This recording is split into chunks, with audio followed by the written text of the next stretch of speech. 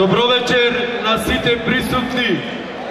Претесна е салата за да ги прими сите оние хуманитарци кои сакаат да дадат мал допринос за да се изгради џамијата.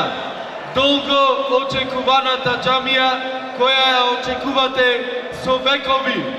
Со векови ја очекувате тој верски храм кој ќе биде еден голем благодет и подсетување за сите оние повозрасти генерации, млади генерации и еден аманет за идните генерации дека на вистина ромите заслужуваат во Прилеп да имаат нормални услови за живот како сите граѓани на општина Прилеп.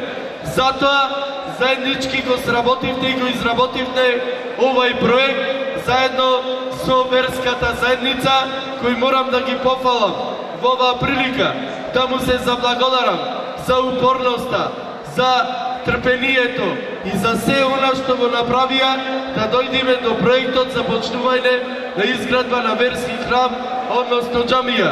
Еден голем аплауз за сите нив и една голема благодарност. Добро вечер, Прилеп. Шукарат Ромален. Ерацијан кедимеакате. Декера јекшужи джамија ано Прилеп.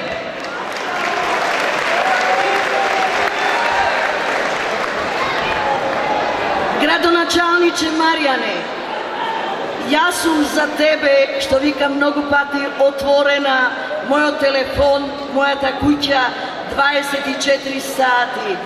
Во денот, така да сум драгстор за тебе да знаеш. И секој време да дојдам во пример. Јас само можам да му се заблагодарам на Маријан што год ми е обеќал и стал кој ќе го подсетам, подсетам нешто, дали си направил нешто за ромите, секогаш е бил на наша страна. Нема по